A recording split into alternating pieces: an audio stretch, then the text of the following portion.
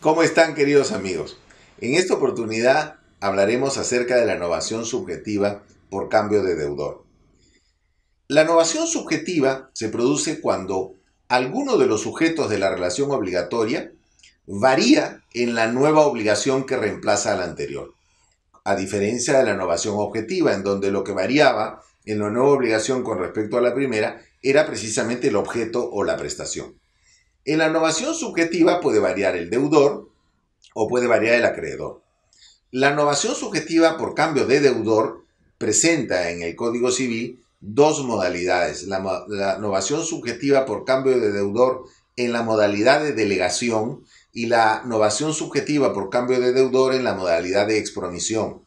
La, innovación subjetiva por cambio de deudor en la modalidad de delegación requiere el acuerdo del deudor, ¿no? requiere el acuerdo del acreedor y requiere el acuerdo del tercero, que va a entrar a reemplazar al deudor siendo deudor en la nueva relación obligatoria.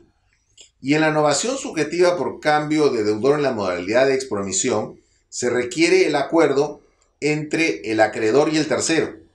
No se requiere, y esto es un asunto muy peculiar, no se requiere el acuerdo del deudor a quien se le puede retirar de la nueva obligación. Sin embargo, el tercero podrá cobrar a ese ex deudor todo aquello en cuanto le hubiese sido útil la innovación, siguiendo la pauta establecida, siguiendo mutatis mutandis, la pauta establecida por el segundo párrafo del artículo 1222 del Código Civil relativo al pago.